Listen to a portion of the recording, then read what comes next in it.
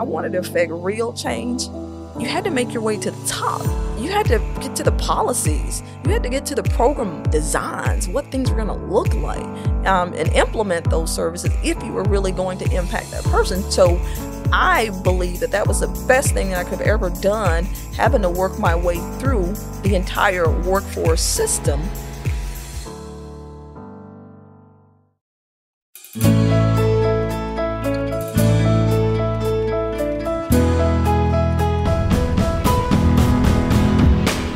From Fiore Communications, it's How I Got Here, a show of inspiring stories from Tallahassee area leaders, business owners, and neighbors, all the challenges, opportunities, inspirations, the twists and turns of life that led them to where they are today. Everyone has a story worth telling, and I am really grateful that we get to bring a few of them to you.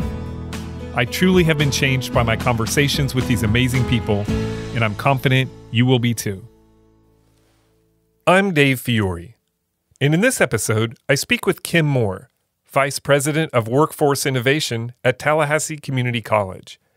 The native of nearby Greenville dreamed of being a CEO since she was 14 years old, and achieved that goal when she was selected to lead Workforce Plus, the regional economic and workforce development body now known as CareerSource Capital Region.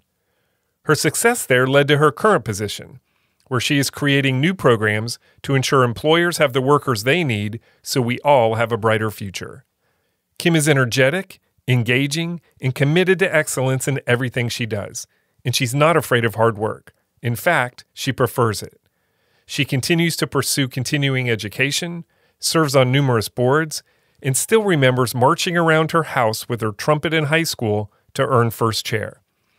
Her many awards include being named to the TCC Hall of Fame, the 2019 Economic Innovator of the Year, and most recently, the International Idahlynn Karre Exemplary Leadership Award.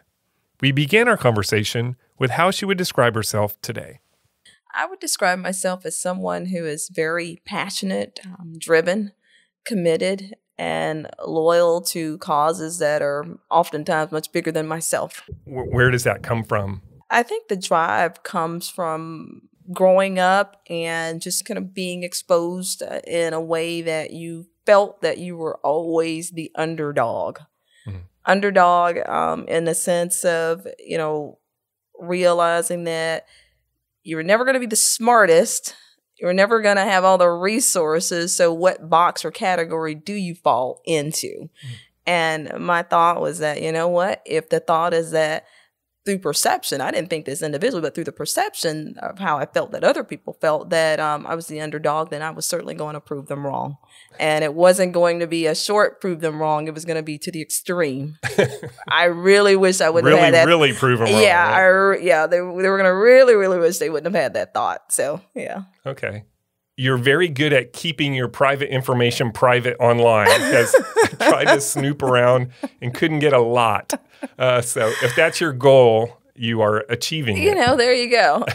I would never be here with you if I did that, right? That's true. There'd be no reason. Uh, so, did you grow up in Tallahassee? Actually, grew up in Greenville, Florida. Greenville. Hour east of Tallahassee. Okay. Mm-hmm known for the Christmas festival, right? Christmas festival, but also, um, you know, Ray Charles. Oh, I did not know yeah, that. Yeah, yeah. So that that fact, I won't call it little known because there's a there's a statue, if you will, in the park of uh, Greenville. So, so he was born there. Through, I think he grew up there as a child. I don't think okay. he was born there. Yeah, but there is a house there as well. That. um All right. So did you grow up in Greenville? I did. Grew up in Greenville and did not come to the big city of Tallahassee until the ripe old age of seventeen for college. Okay. Yeah. I mean, was Tallahassee a place? Did you come to go shopping and do stuff? Yes. So I always knew. um, I always knew that, of course, Tallahassee was here, and that um, you know, hey, we'd come on Fridays, go to McDonald's, you know, and do all of that because, of course, there aren't the there wasn't a McDonald's in Greenville or Madison. Now there is, right. and so yeah, shopping Northwood Mall. Wow. You know, date myself back, yeah, yeah, with the escalator. I remember that as a kid. Oh, I'm yeah. like, oh my gosh, this is amazing. Yeah. the technology. Yeah, the technology. Because I grew up in a really small town yeah. in Central Florida, about ten thousand people. So I assume Greenville is smaller than that. It's probably around, I would estimate around 1,200 people. 1,200. Yeah. Okay. Would you consider yourself kind of a country girl growing up? Absolutely. I still hold on to that. I still, you know, carry that even into my my world now and my work and that is your word is your bond. Yeah. So that is something that you, you know, most people associate with, you know, having grown up in a small place and yes. Right. Small town values. Absolutely. kind of absolutely. Yeah. Okay. So you come to Tallahassee to go to Tallahassee Community College. come to Tallahassee, go to college, and again, I I remember being walking on that campus, and I thought it was like, oh my gosh, how will anybody ever find out who I am here in Tallahassee? It's so big, and carrying that heavy backpack and thinking, what in the world did I just get myself into? All right. Well, let me let me take a step back. So I'm guessing that you probably accomplished a lot in high school and stuff. Well, I'll let you tell me, but I I assume it, when you came to Tallahassee it was kind of maybe you had a thought of okay, I I was kind of a top dog in Greenville, and now I'm going to just get lost in the mix in Tallahassee. Is that what you were thinking? So I was an honor student, and of course, did the band and soloist and all of that. Things What that did you play? I was actually a trumpet player, Nice. and uh, maybe that's an aha moment too. I actually started in middle school with the trumpet and did not realize the importance of first chair and last chair if you've ever been in the band. I was in the band my whole yeah, life. yeah. Yeah. So in middle school, last chair all the time, last chair, and I was just as happy as a lark. Didn't realize until I got to high school what that really meant. That you were like the worst one. so I I remember in ninth grade, once that dawned on me, I was like, okay, I am getting out of this spot. So I literally practiced all summer. My parents, my sisters, um, just wanted to get me out of the house, but I'd practice um, both at uh, with standing up and marching as well as in the house. I'm like playing all the time. You were by the- marching in the house. marching in the house, marching outside, everywhere. I was like, I'm going to do this whole makeover. And by the sophomore year, I was first chair. When Wow. I came back from that summer, I was first chair and soloist. Yeah. wow. So that's kind of the underdog thing again, Mm-hmm. Yeah, right? there That, you uh, go. Yeah, didn't expect much and clearly didn't expect you were going to go from zero to one, you know? I can't even imagine. I mean, I was in the band from sixth grade all the way through college, Uh-huh. and but I don't think I ever I played the French horn. I don't think Uh-huh. I ever marched around my living room practicing. I can't imagine what your parents thought. They're like, "What is she doing?" Oh, well, you know what? I don't think that they got it outside of what they call noise. Kim is making noise again. Mom, Kim is making noise until they actually saw me on the field. And then I'd come up and like, she's turned this into music. She's a soloist. And people are like taking pictures. And so they're like, ah, So there, doesn't look so stupid now, right? exactly. That's awesome. Well, tell me about your parents. What are they like, or what you know? What was it like growing up in your house? So my dad, military, 38 plus years, um, as a matter of fact, um, Army, and always worked hard. I always remember um, he worked both, he, he later ended up in the um, guard, so it was just the weekend piece of it then. But during the week, he worked at a lumber mill.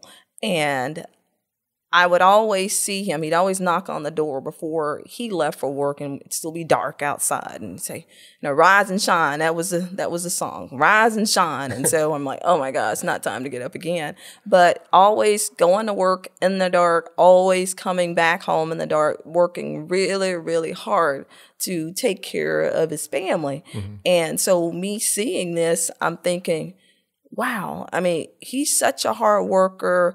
Um you know what is it that i can do to make it all worth what he's doing for Oh, wow. us? Yeah. that's literally what i was thinking. It's like you know how do how do you how do you pay them back you know for for doing and you know what they're doing and the sacrifices that they make? My mom was a stay-at-home mom right up until my sister and i were 11 months apart um, we're in high school. And um, then she went to work in, in retail. And just just both of them just the sacrifices that they made and just the importance that they um, placed on education and opportunity and for me it was always that i know they want you to be a good person and they i know that they want you to do well but i want to show them through my actions in such a way that they can dream the biggest dream with me. But I know that I'm gonna have to do it first, much like the trumpet playing Right. that to help them see how all this connects. But that that was yeah, that was always a thought. Um, very much supportive. Um, always there. Um, teachers meetings. the, the works. But yeah. Yeah. It's a very mature attitude for a kid to say, I want to make my parents' sacrifice and hard work mean something. I mean, where where did you, where did that come from? Well, I will tell you, at 14, I was writing in my legal pad. Um, I was a child that my mom would say, "Why are you using your allowance and buying all these books? what are you gonna do with books?" And my sister was like buying candy and food. I was like, "No, I'm gonna buy these books because I enjoy reading so much because you could go to so many different places there." So at 14, got my little pad and writing down what I want to do, and that was to be a CEO. I wanted to be that person that At ultimately 14? at 14 Okay. that ultimately made decisions. I was applying for college, didn't know, you know, all the processes that, you know, even that a 14 year old at that time couldn't get in. Right. Um, but yeah, wow.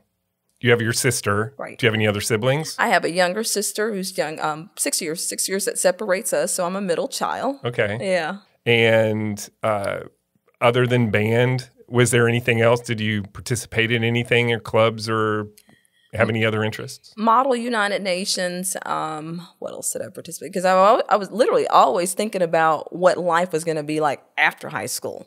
So, So were I, you thinking about getting out of Greenville, or I mean, not that you wanted to escape, Right. but uh, like the the bigger world out there somewhere? I knew that that world existed. I'd read about it. I read about it in all my books, so I wanted to get there. Um, as a matter of fact, I remember as a child, we we we had family in Central Florida, Tampa, and we'd always go there, you know, at least once or twice a year, and I'd see these tall buildings, skyscrapers, and I thought. And I tell them, I said, I'm going to work at the top of that building. I'm going to work at the top of that building, and I'm going to make decisions. That's what I'm going to do. And so it was always, you know, how do you get there? I, I, I understood the correlation that you had to work hard. Of course, I didn't know all the intricacies of it, but yeah, Right. So it sounds like being being in charge was going to be a, a goal, right? Being a CEO, making decisions, like you wanted to be the one making the calls on stuff. I wanted to be the one making the calls, but also I wanted to understand it enough through working hard because I never separated that part. I always, again, saw my dad, you know, work hard, get up early, you know, work, start in the, you know, dark in the morning and then you come back. So I knew that that had to happen, Right. but that how the reward came by way of, you know, achieving your goal. And that was my goal. Tell me what happened you, when you arrived on the campus of Tallahassee Community College. I thought, okay, were these dreams and everything that I've written down at 14 really going to happen here? Um, I will tell you that even though I wrote that down at 14, it wasn't until high school, maybe just take it back just a step, high school, um, senior year with Miss Laura Young, who was my English teacher, who had us do a project for seniors about what do you want to do with your life. And I thought the safest bet at that time, I wrote down that I was going to, Tal- to Tallahassee, I was going to earn a degree, and I was going to go back to Greenville, Madison, and um, get a state job and do the norm. You know, that's what I was going to do. That's what, what I knew. And she called me up to her desk and she asked me, she said, Kim, is this really what you want to do? And I was like, yes, ma'am. And she said, is that really what you want to do? You have great grades and all these things that she added up. And I said, I actually want to be a CEO. And I said it really softly because I'm like, I am not letting this out that I have to deal with people thinking that this person wants to be a CEO, right? Right. And what is, you know, where is she coming from with that? And I said it to her and she she said, well, then go back and write that down. And I said, okay. And I, I for you know for forever, I still call that my permission to dream moment. Mm-hmm. So when I got to Tallahassee Community College, I'm thinking, okay, I got the backpack, I got the dream, but how is all of this going to work? So yeah, it was quite scary.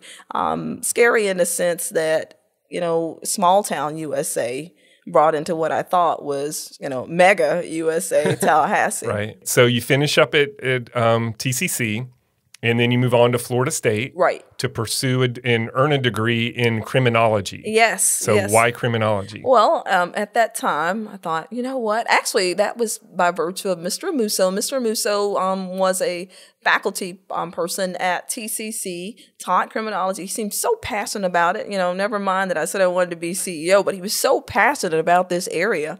I thought, you know what? Maybe I can explore that further. And I still thought leadership. I thought that, you know, ultimately, you know, I could lead something at FDLE or you hmm. know, or be a warden of a prison. I mean, it's I'm always thinking about Still the CEO yeah, of something, it's, right? It, right. So I'm thinking that path is still clear. And I remember my last semester at Florida State, and I'm at a career fair, and I'm talking to the folks at the City of Tallahassee Police Department table.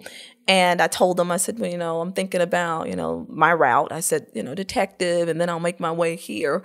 And then they said, well, you got to do two years on the beat. And I said, Do you mean the streets? and he said, Yes. And I, I never thought about it again. that was it. that was it. You hadn't really thought, again, it's consistent with your other stuff, right? That you knew what the goal was, but you hadn't really thought out all the steps in between. Correct, correct. And never thought about the streets and never thought about, you know, me kind of running and chasing folks and all of that. so didn't think about that part. And so that led to and interesting, interestingly enough, I guess it does have an aspect of it. My first job out of college, mm. where um, I graduated from FSU, and then for like the next two months, I was religious about this. What used to be the old Department of Labor, um, later Workforce Plus, later CareerSource. Right. I went there um, as I was still employed at McDonald's. I was a manager all throughout okay. college. Right. Yet again, managing people and things. Yeah. But all throughout college, but literally every Monday because that's when they would release new jobs. Mm-hmm. And I would go every Monday. They knew me and they you you were only supposed to get three job leads they'd give me like a rolling list. I mean, it was probably tall as me, list of job leads. And I was on a mission that I was going to get that next job. And took me took me three months out of college and I landed the job at Department of Revenue in child support enforcement. Okay. Which involved an aspect of detective piece and that that was probably one of the most intriguing jobs in the sense that I got to think ahead of people who didn't necessarily want to be found. Right. So you did get to use yes. some of those skills. Back in the day, you had to physically go down to the office to get job leads and they would print something out and hand it to you. They would print it out and hand it to you. And Miss Darlene Phillips was the lady who would do that. And I, I always point this out, the story, because I, I tell people, I said I used the system before I led the system, mm. because later that would end up being the organization that I right. led. Mm-hmm. Sure. When I was looking at your your bio, or you know, as much information again that I could find, it was limited. There was, you know, your first when we when we when you list your job at workforce, yeah. which which comes a little bit later there's a there's about a six year gap mm-hmm. between you graduating and and when you took that job. Yeah. So was Department of Revenue did that fill up all that space, or did you have other jobs in between? So Department of Revenue filled at that time. You know, there was a whole thought about you needed two years of professional experience before you jumped into your next gig. Sure. Unlike where we are now. So I worked at Department of Revenue for a year and eleven months. And even there, you know, the, the thought of how do you achieve and do great things where you are, even if that's not where your you know landing spot. You hope ultimately that's where it ends up being. And for me, um, I was a child support enforcement worker, and we had a quota. You had to identify, locate, put whatever actions in place. 40 of those things a month and I was at 60 and 70 and had gotten all the little awards that you could get for that role. And I'm like, okay, what else am I going to do? Right. And I then stumbled across a workforce development ad at the time. And so that was a year and 11 months. And then thereafter, I got into workforce. I came back to the big city of Tallahassee um, with thought being that workforce, wow. So if I get this skill, yet another right. dream, if I get this skill, it's you know what i could use it all over the world. Workforce is everywhere. Right. and that is why i made the jump from you know child support enforcement to workforce development as a case manager. Okay. So what you don't see in those six years is the ascending up. So i case manager for a year then i went into a, it was a senior workforce development specialist and responsible for the other case managers then to overseeing a center actually the former the south monroe location. Right. Some people may remember that and then going into contract and compliance. So literally that was a second job, but that was the the ladder that moved into everything else. Okay. So what what did a case manager do? Case manager. So there were 130 individuals who were receiving some type of assistance. It could be public assistance, could be, you know, food stamps, whatever the case. But you had to work with them to ensure that there was a plan in place that help them to achieve self-sufficiency. Okay. Could be a job, could be education, could be, you know, whatever the case it may be, but working with them to achieve that plan. I call it an accountability partner at this time. Um, 130, you're thinking, well, I can't sometimes manage my own life. You got 130 people. Right. But it was different than with Department of Revenue, where I remember going in at the first day and you had 600 to 700 cases one time. So, wow. Yeah. All right. So you're working your way up the ladder, mm-hmm. right? And in just a few years, you're CEO, you're running Workforce Plus, right? that seems like a pretty pretty fast ascension to that job. Well, the funny thing, and, and my colleagues will know this um, who have seen me along the way, but in orientation, because I actually left the full time government job to take on an OPS temporary role. That's how I got to workforce. Wow. I was not selected as a full time worker. There were, I think, were only four out of 10 that were selected full time. I was OPS. But there's a lesson in that too, right? Absolutely. That's why yeah, you can yep. make the jump, and it doesn't matter where you start. Certainly does matter where you finish. So right. um, to take that leap of security to go into something that was clearly going to be driven by, you know, hopefully all the effort that you put in, but you know, you just don't know whether it's going to work out. But in orientation, I asked the then CEO, Dr. Wyatt Pope, what it took to become CEO. And he said, Kimberly, that's a great question. He said, but you're in orientation now. He said, I've been doing this for 30 years and you got to pay your dues. And, and he, this story's been told later by him. Um, but I said, I don't have that long. and I just, I'm like, there's got to be a path to do it, but I'm just not going to do it 30 years. And that starts the story of, yeah, probably um, right at about five years yeah. later or six years later, I was CEO. Right. I know hard work is part of that. I mean, mm-hmm. a huge part of that. But what is it about workforce, workforce development, helping people make those connections and relationships? What is it that really caught on with you that you became so passionate about it? I saw how much that through case management you can help the individual person, one person at a time. But I knew then if I wanted to affect real change, you had to make your way to the top.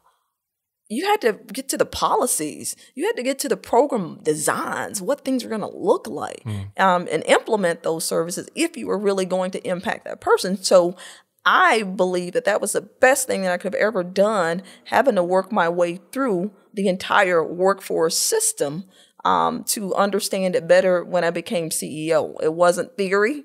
It was practice. I knew it, you know, um, I knew people, and I still see the people here in the community that I work with hands on, one on one. Right. Yeah. How does that feel to see them now? It feels amazing. They're in different roles now. They are so excited to tell me that, hey, I got the degree, or hey, now my kids are grown, or hey, you know, all their accomplishments. So there is so much value in what programs like that can do to help um, be that Laura Young, like Laura Young was for me, the permission to dream, right. that programs can do that and be that for individuals. So that's what I've always taken my work to be, not just for the individual, but also for the community. Let's dream the biggest dream together. Right.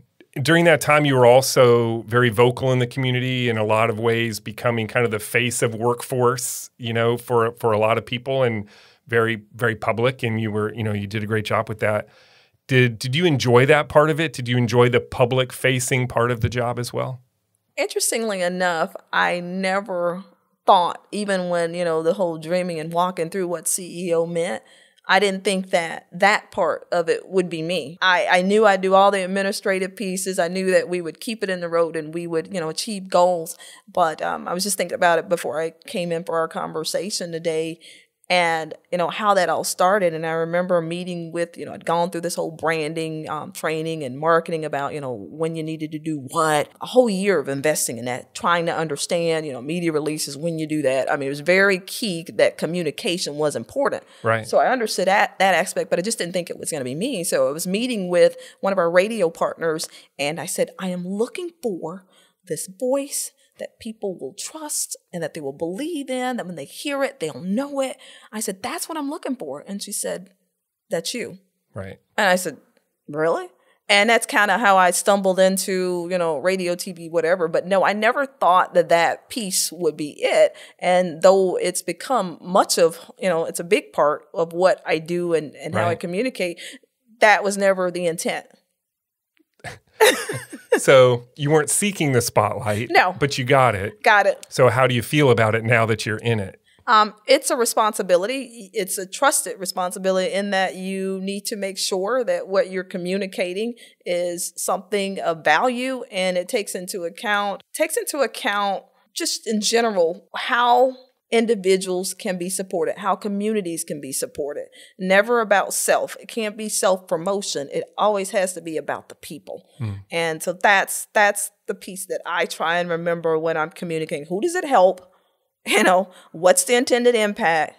And yeah. Right. Does relationship building and networking, the whole playing the game and I mean does that does that come naturally to you or do you have to kind of gear up and and kind of psych yourself up for those kind of things? Um, not psych myself up anymore, but at the onset, I literally thought again, small town values that when I became CEO, I said, I literally have to go and shake everybody's hand. And I, for the first 90 days, I wore myself just ragged. I was so tired because yeah. I could not, I'm like, how am I going to do this? And so that's when, again, with having a conversation about radio and everything else, that I got to find an effective way to do it, realizing that people get their information a lot of different ways. Right. So that's when it came up being the plan of, you know, doing all these things. In terms of connecting with people, um, always I make it what's a, what, you know, what's in it for them. And if I could start there, then the rest of it is easy.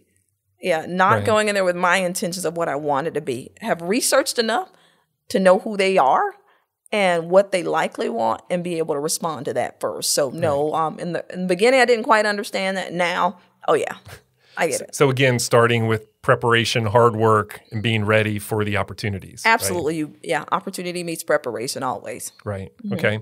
So when did you start seeing yourself as a community leader? Because clearly you are, and I know that that wasn't your intent. You wanted to work hard, get the job, make an impact, do good, but you're here and you are. So w- when did you kind of was there ever a moment when you kind of saw yourself, you know, mentioned and with other people that you knew were community leaders that it ever kind of say, "Hey, I'm I'm kind of one of them now"? So, interestingly enough, um, if you were to come to my house, I would have no awards or anything else there. Um, I always hand them over to my mom. Mm. Um, it is always for me, it's a point of humility, realizing that you still need to work much harder and keep pushing. Right. So I never keep any of those in in the house. In terms of the, the just the leader part of it, um, I knew that it was a trusted voice, and I knew that during the time that I was serving as CEO is one of our hardest, you know, recessions, if you will, mm. then.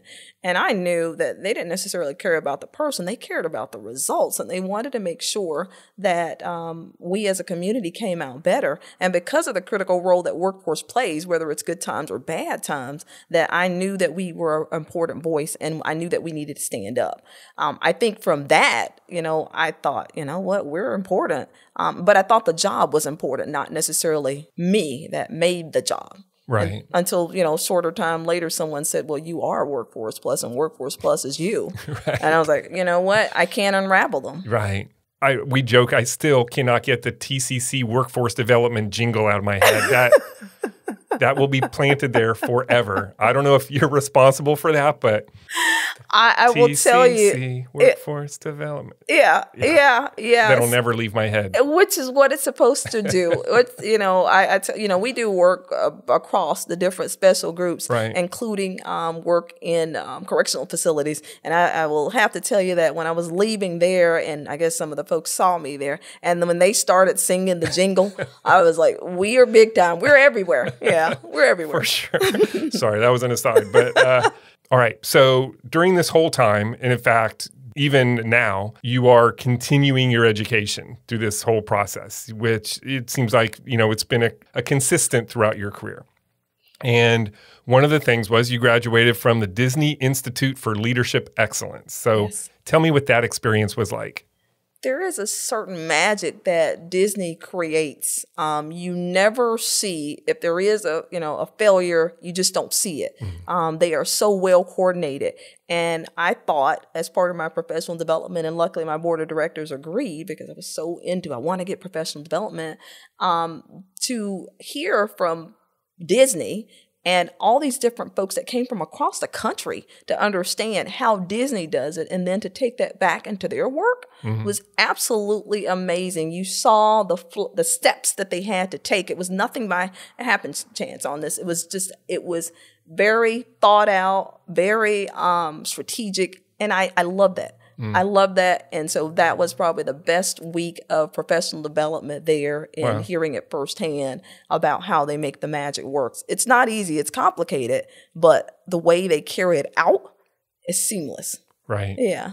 Yeah, you never see anything. No, no. Uh, One time we were there for um, with my family in December, and they were doing that Mickey's Very Christmas thing. Yeah. But we didn't have that special ticket thing, so we had to leave as all these people were coming in. Uh-huh. So they took us behind Main Street Yeah. in the parking lot Uh-huh. with all the you could it was very unmagical. Uh. You could see people out there smoking, dumpsters, Yeah, you're all like, the "No." normal stuff. Yeah. I'm like, no, I don't want to see this. this Where is are my blinders? This is destroying everything. Yeah. But, or uh, even going underground because there's the underground. Yeah, I've never part. done that. I hear that's really cool though. Yeah. Did you do that as Yeah, part we of the did program? that as part of the program to go underground and see how it all works. and I know I have I have some of this out of order, but you also earned a master's degree in business administration from Webster University, a certificate from the NACC Institute for Entrepreneurship and Entrepreneurial Studies, and attended FSU again recently, right? And uh, studied educational leadership and policy. So what what do you get from those experiences? And again, what has driven you to continue this commitment to for professional development and adding to your education? Well, I think it's always going. It's lifelong learning. Um, I always talk about it. I believe in it, and I believe that there's no way around it. You should always continue to learn, um, not only for yourself, but if you're in a serving role, then certainly for the people that you're serving. Um, so with the MBA, that came actually as a result. I was number two at Workforce Plus then, Okay. and I realized at that point it is fairly close. The same man that said, Kim, you know, the 30 years, it was about to be the transition. And I thought, oh my gosh. And I knew that in prior, um, the CEOs, there had been four males um, prior to me, Right. and that they'd all had advanced degrees. And so I remember talking to our board of directors, and they were talking, and they said, "Well, well, maybe we just need to, you know, revise the job description." And I said, "Please don't. You may do it with another candidate, but do not lower your expectations for me. Let me rise to the occasion." Right. And so for the next two years, um, I studied. I was both the COO, but also working on my MBA. And then a semester, um, I was I think of shy of a semester once I became CEO. I graduated the next semester, and I had an MBA, and I was a CEO because I really saw the connection to. It's great that you have a heart, and that yes, I've served as a case manager and made my way through, but you really got to understand the business aspect. Right. You got to keep the thing afloat. I mean, a it's business, a yeah. nonprofit you know, quasi, but you got to make it, you know, work. And so I thought it was important to me as well as important to them to make sure that they had a CEO that could deliver. Right. Mm-hmm. So did that investment of time and effort did it was it helpful? Did having that MBA help you run the organization? Was, it was quite the door opener because I also not just working directly with the community. Of course, I had to work with employers too. So the fact that you had an MBA um, was quite a door opener in the sense that you know businesses respected the Credibility. fact that yeah, yeah, So I needed that. You know, I, I did not think that if I walked in and said, hey, you know, I got a degree in criminal justice. You know, hey, let's do this thing. Let me talk about your finance. You know, that wasn't going to fly. So Right. um, I, I try to, again, what's in it for them? So, yes, the degree was for me, but I also saw how it made sense for everything that I planned to do. okay. Now back to your career path. Yeah. In 2013, you were named Vice President of Workforce Innovation, I think was the title at the time, um, at Tallahassee Community College.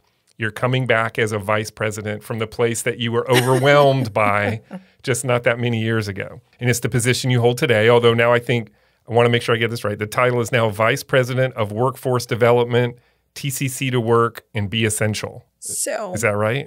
So um, I started off in 2013. I actually accepted the job in 2012. Um, started the job because I needed to do a 90 day transition. Okay. In 2013 as vice president for workforce development. But one of the things, and I was glad that um, you know President Murdaugh um, agreed. But a lot of what I was doing at the time was innovation. It was creating things, things that didn't exist.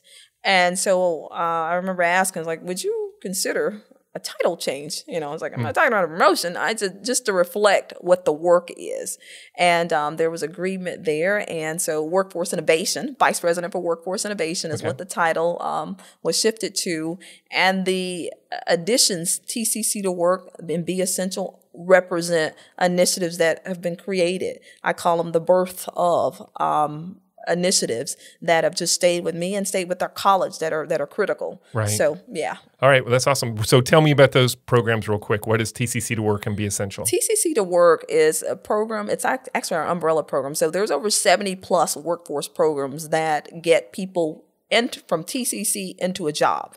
Um, 170,000 plus people we've put to work. And it was important for us to recognize that in addition to the students that we're sending off to FSU FAMU, that there are some students that want to go directly into the workforce, and we do that for our community. So that's TCC to Work.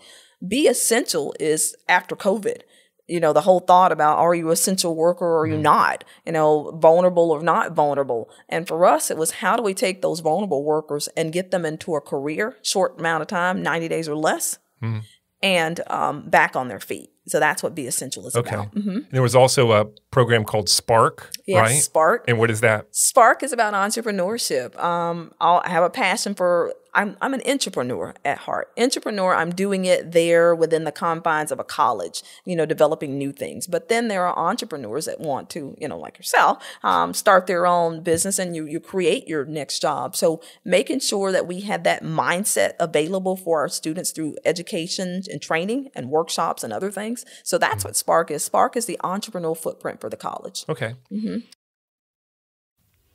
Hey, everybody. Just a quick reminder that this episode is brought to you by Fiore Communications. Just like people, every business has a story to tell, and we've been helping our clients tell their story since 2001 because who you are as a company is just as important as what you do. To learn more about how telling your story can make a difference in your business, visit fiorecommunications.com. Thanks again for listening. Now back to the show. Now, when you were at TCC, and I think when most people think of TCC as parents, I have I'm on child five at TCC Yeah. right now, so invested quite a bit in the, in the programs there. Um, you know, it, it's it's a stepping stone moving on to a four year degree. Right. But as you pointed out, for thousands and thousands of people, it, it serves a, another purpose. Right. Did you did you even know about that when you went there? When were you aware of that? I, I was more aware of that when I was in my capacity at Workforce Plus. Um, all of the educational institutions were training partners, and so I understood, you know, how they could help the population of people that I was serving, and how they help, could help the community in general. So I drunk the Kool Aid in that, in that regard. I understood it. Outside of that, I mean, I'd also served as the advisory council chair for Lively for eight years too okay. at the same time. So I was like, I, I understood the vehicle and the power that education brought and the voice that it needed to have. That's where, you know, I thought that and still believe that I play a critical, critical role in being the voice for what education can do. Mm-hmm. Not just one, but it's not the either or, it's the and. And Right. that's what workforce does. Yeah, for sure. You're coming back to mm-hmm. TCC. I just want to know, I mean, what did that feel like? I mean, when you're as a dreamer and seeing yourself as the CEO and again coming back to a place that was just overwhelming to you at first and now you are running a significant portion of the college. How how did you feel about that? I felt that I had had the opportunity and was very thankful for it that I got to live out my 1.0 and my dream of becoming a CEO. I saw my 2.0 moving into TCC as an opportunity to provide the pathway and, and help others accomplish their dreams. You know, I cover, I have adult education, GED in my portfolio there, in addition to traditional training and employers and the like. But there is nothing more powerful than seeing people of all ages obtain their GED and realize that the doors are open for all the other possibilities. So that's the magic. Right. That's the Disney experience. Okay. Um, yeah. So So it's not it's not limiting when you get that GED. It's a step. it's toward, the comma. Yeah. It's the comma in Okay. life, and that's when I realized that coming back there again, yet again, humbling, realizing that I was the kid with the backpack that didn't know. So I have a different appreciation. I'm I'm a vice president, but I'm also you know the approachable that the students can come to me and say, hey, I'm done. And I set up appointments. I give them a card. Here's my direct number because I understand being that person. right. So yeah. Mm-hmm. Yeah. And I know you're a vice president, but in the university structure and where you are and the way it's built, it seems like you're pretty much fulfilling a CEO role in your universe. I mean, in, in your area, you're running the program. Right, right. So, you know, a lot of people said, well, what in the world? You left Workforce Plus. You know, you could have done that for 30 years. And I said that was a problem because you because you know you can do something doesn't mean that you need to stay there. We always have to stretch. And that was my stretch to move into an area that, you know what, I had been a student, but not in the, you know, never led something in education. And to be able to do that, you know, one, it's quite the honor. I'm glad that the president, President Murdaugh, um, allowed mm, afforded me that opportunity but it does have the autonomy the autonomy to have a real close connection to what's going on in your community and to create programs that drive that yes i'm staying connected to our strategic plan but there's a whole lot of innovation that gets to come there i call it the r&d the research and the development arm for Right. what happens Yeah. What's if I remember, it was very competitive. Th- This position. I mean, it seems like a lot of people were interviewing for it, and it was kind of a public process. If I remember, you knew that it was going to. It was a tough. It was tough to get the job, probably, right? Correct. Um, it was a national search, as a matter of fact, and had no, you know, set expectations. I will tell you that I remember helping a lot of people to prepare for the interview because I wasn't thinking about Oh, you weren't working at at. T. No, I- Oh, okay. it was not on the radar. Um, I, I will tell you that I had my perceptions of education. I thought education um, moved slow. And I knew that I appreciated about workforce if I had an idea of being able to implement it that night, right?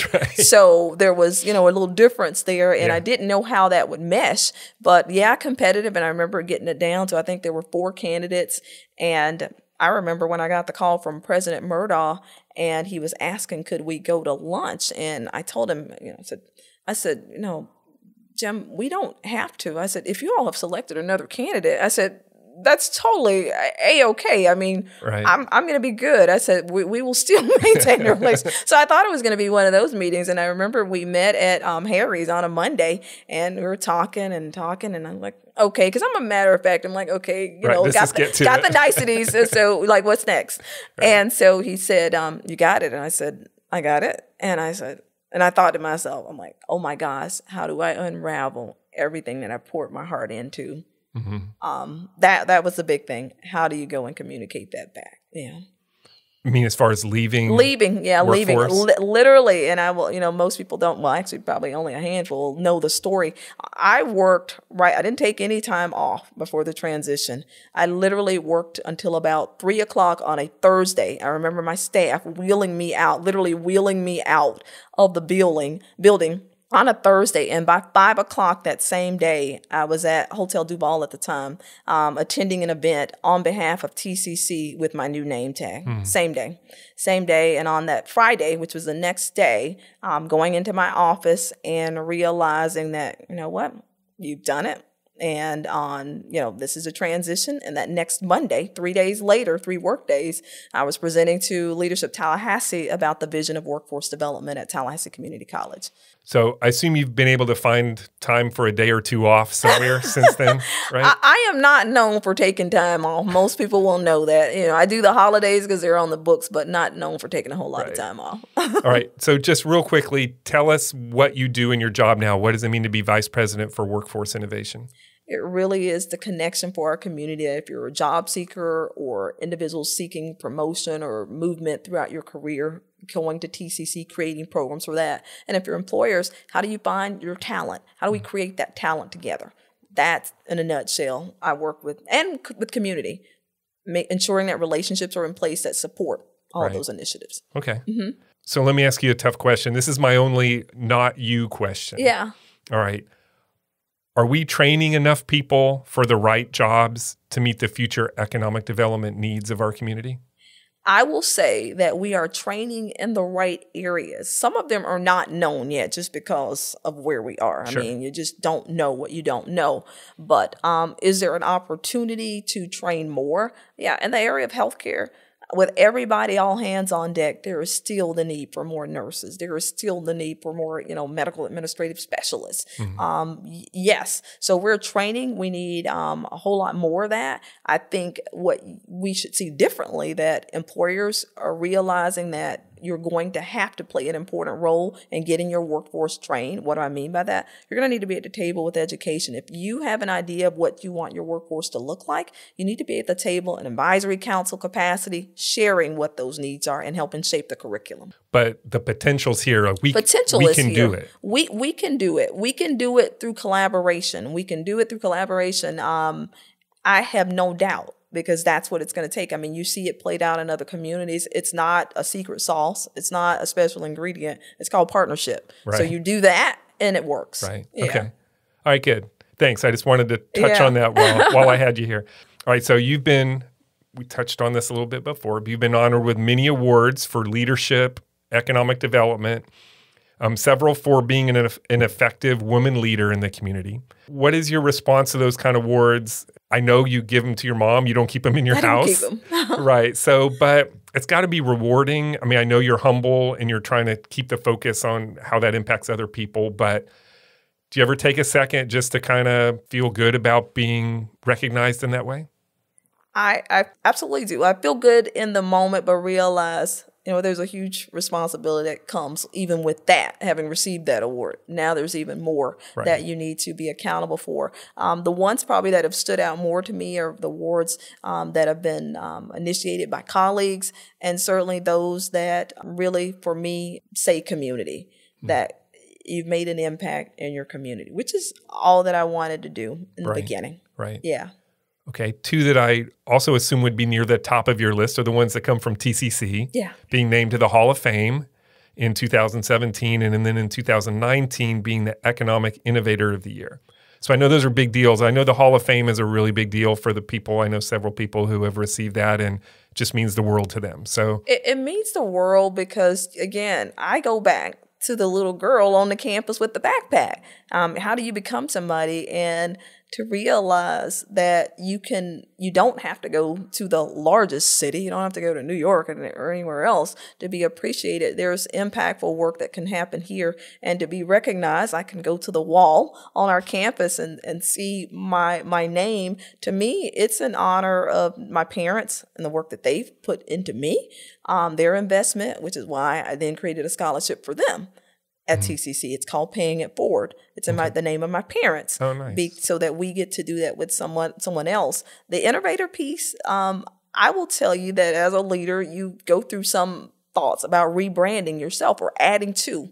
Um, maybe it's not a full rebrand. And so in my case, I thought workforce development is where I've always been, but innovation was where it was moving to. And I thought I'm going to focus completely on doing things that are innovative and messaging about those things.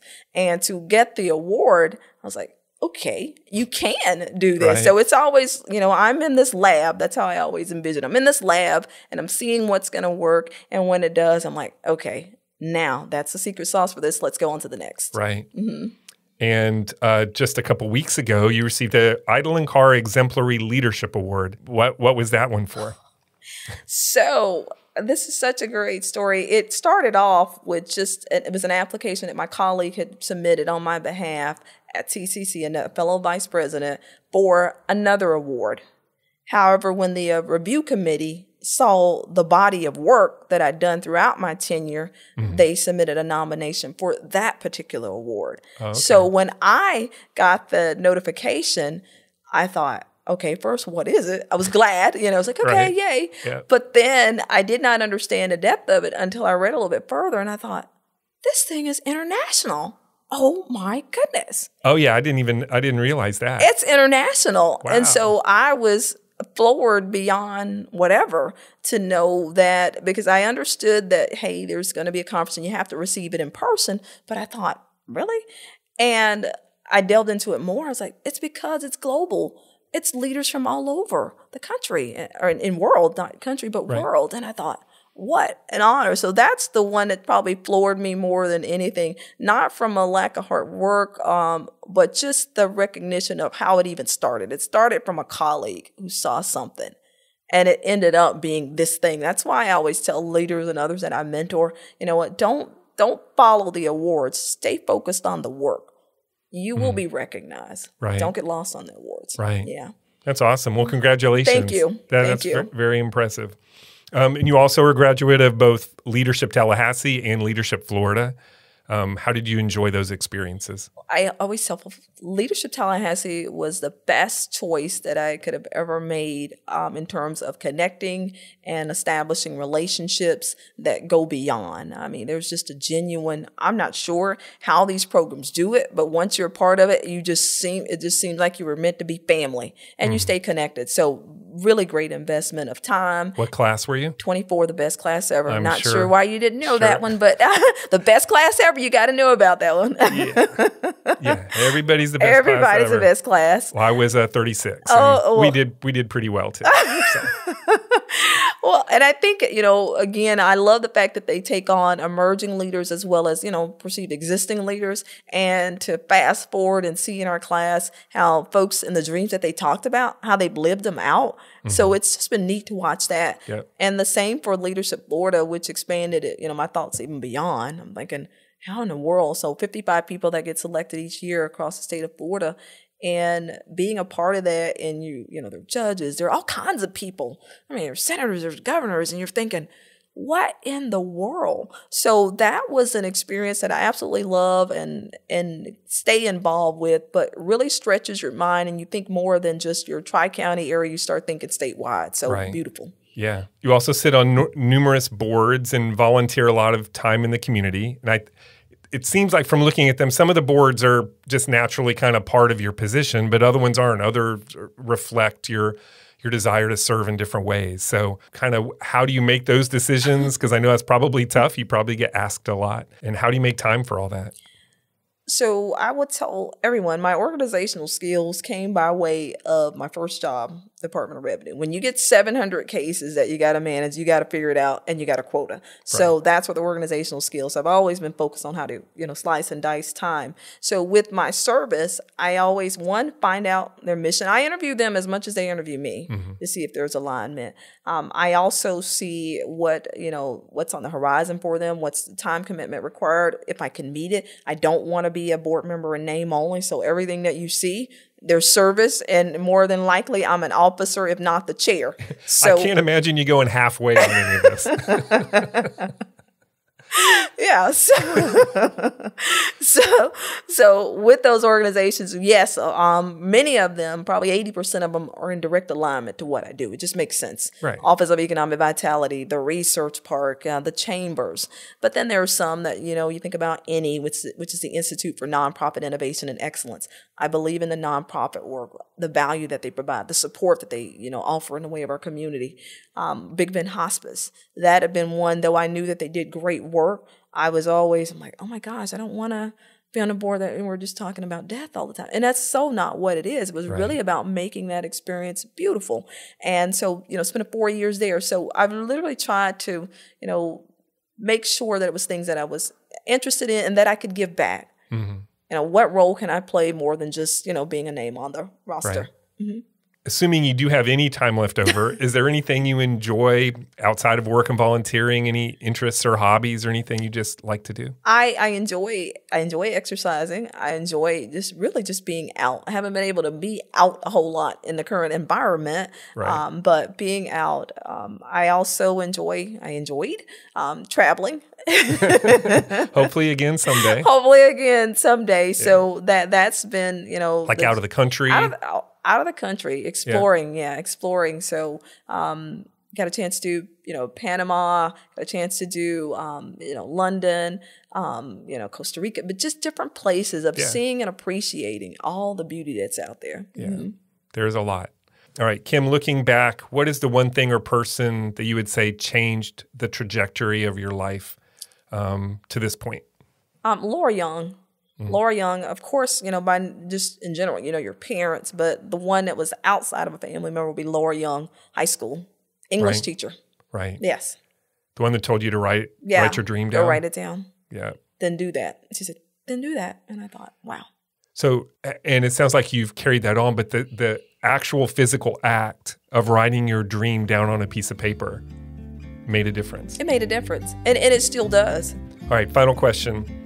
Right, the podcast is named How I Got Here. Yes. And we've talked about how you got to this point in your life.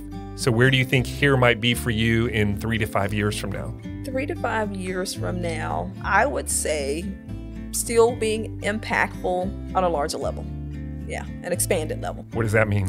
I'm impacting the state of Florida, impacting national issues and initiatives. That's what I that's what I envision for myself. Okay. Mm-hmm. Related to workforce? Related to related to workforce, yes.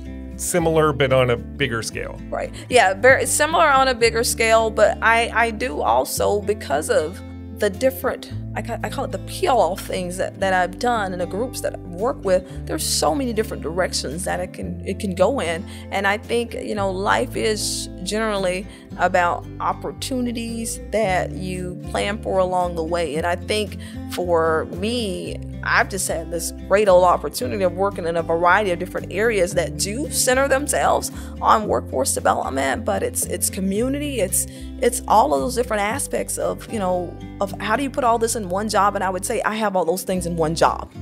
Yeah. That was Kim Moore. With so many options now available in post secondary education and job training, I'm grateful for community leaders like Kim, whose vision and impact will truly be felt for generations to come. Thanks for listening to the show. You can subscribe at Apple Podcast, Spotify, or wherever you get your podcasts. And while you're there, please leave us a review. It really does make a difference. Thanks to my amazing staff at Fiore Communications, who pick up the slack while I'm working on these podcasts, and to Troy Bloom for composing our theme music. You can hear more of Troy's creations on Facebook and Instagram at Troy Bloom Music. To connect with the podcast or suggest a future guest, follow us on social media or email us at podcast at fiorecommunications.com.